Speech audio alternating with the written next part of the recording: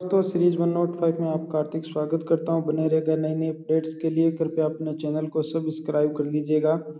रीट भर्ती, चर्चित बहुत दिनों से पॉपुलर, तीन साल से चली आ रही है भर्ती। आज होगी, कल होगी, आज होगी, कल होगी। रीट भर्ती परीक्षा में पदों की संख्या में बढ़ोतरी की मांग भी तेज हो रखी है।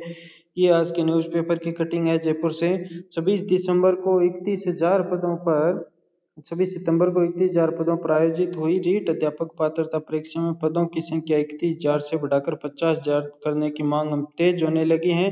पदों की संख्या बढ़ाने की मांग को लेकर पिछले करीब पंद्रह दिनों से शहीद स्मारक पर रीट अभ्यर्थी धरने पर बैठे हैं तो वहीं 12 दिसंबर को जयपुर में कांग्रेस की होने वाली रैली से पहले आज प्रदेश भर में बड़ी संख्या में रीट अभ्यर्थी जयपुर में जुटे हैं।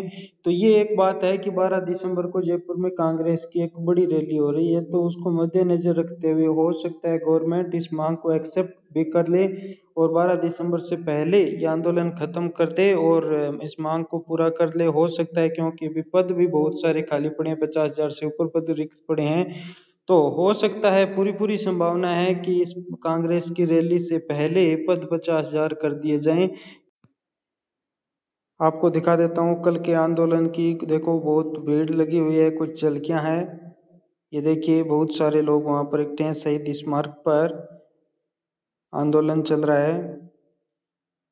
बहुत तेज गति से सबका सहयोग मिल रहा है, राजनेताओं का सहयोग मिल रहा है, मीडिया का सहयोग मिल रहा है, सभी बेरोजगारों का सहयोग ट्विटर ट्रेंड चल रहा है सोशल मीडिया पे ट्रेंड चल रहा है। देखते हैं क्या होता है बने रहेगा नई नई अपडेट्स के लिए।